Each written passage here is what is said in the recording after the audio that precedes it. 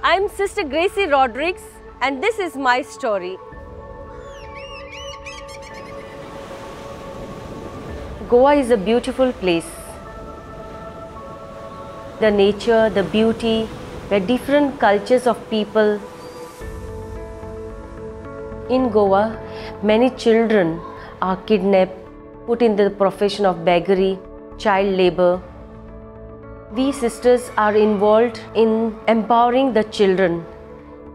Education plays an important role in the lives of our children. Good morning, students. Good morning, sister.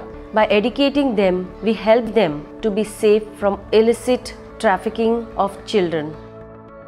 This is all uh, people who are migrated from different parts of uh, India. The living condition in slums are very bad. The people are very, very poor. The water, the sanitation is also bad. So we work for their empowerment. We also train the women so that they earn at small scale their own livelihood. The women now have confidence to take this forward to sustain their lives. I have been in Goa for five years and I see the situation drug abuse, murder, rape, and Goa being the destination state for sex trafficking is becoming worse and worse day by day. But there is a hope.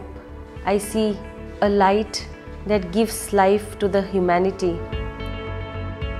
Through our network, collaboration with the police, and our supportive systems, the beacon of hope can be brought in the lives of the victims of human trafficking. That whatever the cases has come, we did got justice for the victims of human trafficking. I cannot do it alone. I am just a drop in the ocean. So I need others' support, others' collaboration. And my first and immediate supporters are my sisters. And above all, it is God to bring hope, love, and mercy to the people. Here in my convent, we share our works, our mission. We participate in each other's joys and sorrows. So it is very important for all the religious, for all of us, that we collaborate in every field, in every ministry which we are involved with.